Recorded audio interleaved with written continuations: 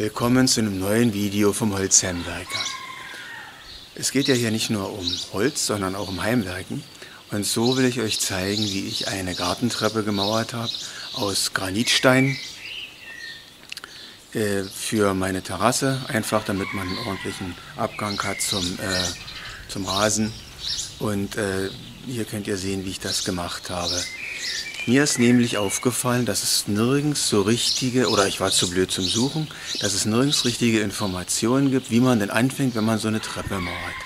Wie ist das Maß? Wie lang müssen die Stufen sein? Wie hoch müssen die Stufen sein? Wo muss ich anfangen, damit ich irgendwie, damit die Treppe dahin passt, wo sie hin soll? Wie breit sollte die Treppe sein?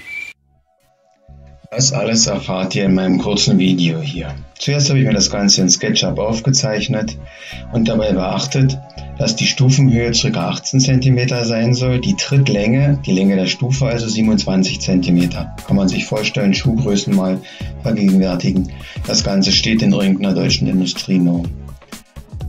Dann habe ich begonnen, die äh, Fundamente für die Treppe auszuschachten. Man benötigt ca. 80 cm Tiefe, um frostsicher zu sein. Das habe ich nur an der Seite gemacht.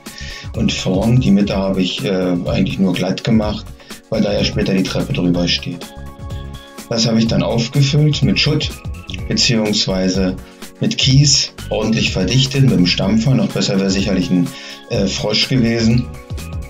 Das Ganze ins Wasser gebracht mit der Wasserwaage, so einigermaßen jedenfalls, und äh, eine Betonschicht gemacht, so dass ich da sauber drauf mauern kann. Die Breite der Treppe sollte mindestens 50 cm betragen. Optimal ist ab 80 cm, so dass man sich da auch drauf bewegen kann. Begonnen habe ich damit, äh, die Wange aufzumauern. Da, wo es nicht sichtbar ist, habe ich genommen, was da war an Stein. Da, wo es sichtbar ist, habe ich dann ähm, Feldsteine bzw. Pflastersteine genommen, die ich äh, noch auf meinem Grundstück hatte das Ganze mit der ersten Stufe begonnen.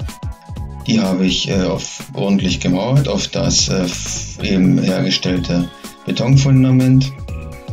Dann mit der zweiten Stufe fortgefahren, da wo man es nicht sieht. Wie gesagt, da habe ich irgendwas genommen und vermauert. Als Mörtel habe ich übrigens Zementmörtel genommen, weil das Ganze im Nassbereich ist.